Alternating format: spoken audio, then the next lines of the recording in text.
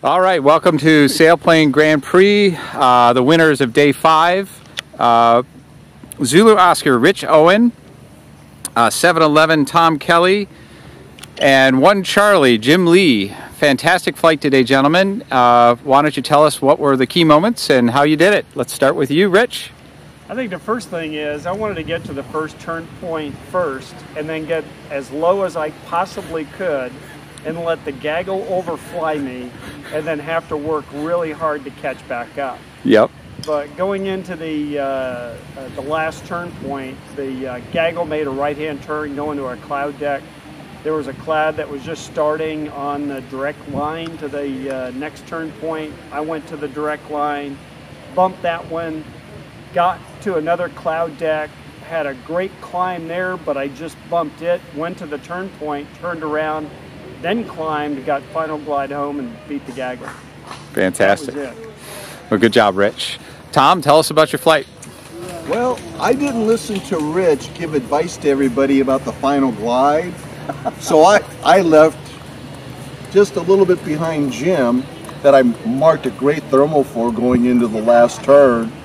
And uh, he left it before I made the turn and came back to the great thermal, but that was okay. And when I glided in, because I didn't listen to Rich, uh, I had several moments about even getting back here that I uh, enjoyed when I first got off a tow today.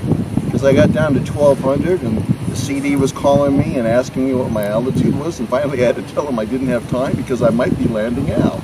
but after that, I caught four and a half knots back up, and the day went pretty good. It was a, it was a fun day, and uh, I flew with Jim for, for about the last third of the flight at least, and, and we had a good time. Great job. Fantastic. Jim, tell us about your flight. I was pretty much with the group to the first turn point and the second turn point, and a little bit after that, everybody kind of faded uh, right to the west, and I faded a little bit to the east and uh, ended up with a little bit better line.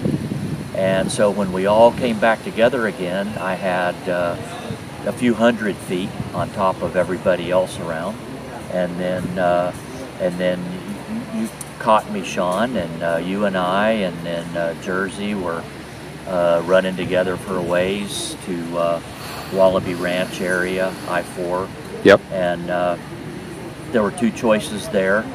Uh, one uh, to the west, to the right, that, that you guys took, and uh, and I thought there was a better cloud street uh, to the east, to the left.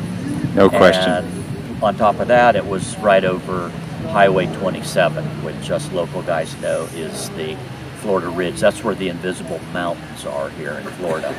So um, I would so turn I would turn the camera to the right here to the street, which just dissolved 15 minutes ago. Yeah, Yeah. right, right. Yep. It lasts forever. So I had a really good run under that street and uh, took the turn point at uh, Chalet Suzanne, pretty much at cloud base, and and uh, even before Chalet Suzanne, the little uh, LX lady came on and said, "Final glide achieved," and I went, "No way!" Oh, you talk.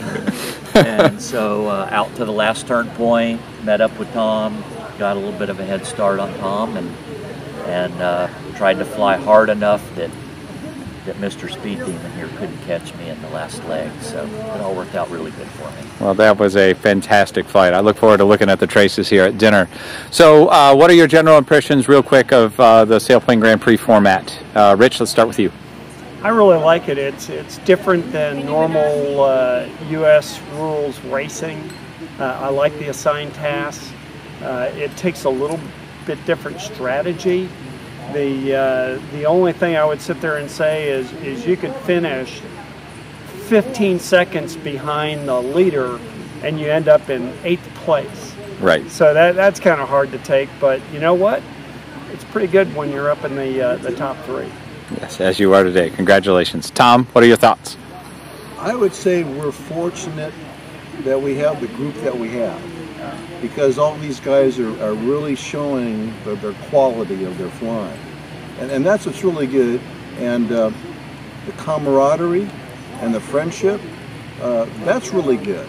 So there's a lot of good bonus points here for us. And uh, uh, I, I guess what I could end up saying is, is we need to give you a thanks because you're helping to foster and promote our sport, a- and that's really that's really important. So thank thank you, Sean, for all that you're doing here for us. I appreciate that, Tom. Thanks. And Jim, what are what are your thoughts?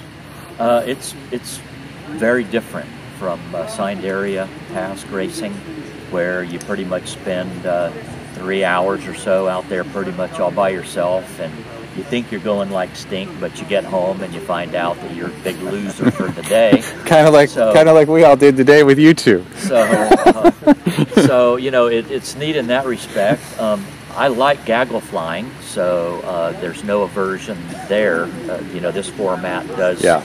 does uh, induce more gaggle flying. Um, I don't have a problem with that. I, I like it. I like gaggle flying. Yep. Um, but the thing I like the best about it is, uh, as opposed to area task racing, where, like I said, you're out there all by yourself for hours and you don't really know how you did.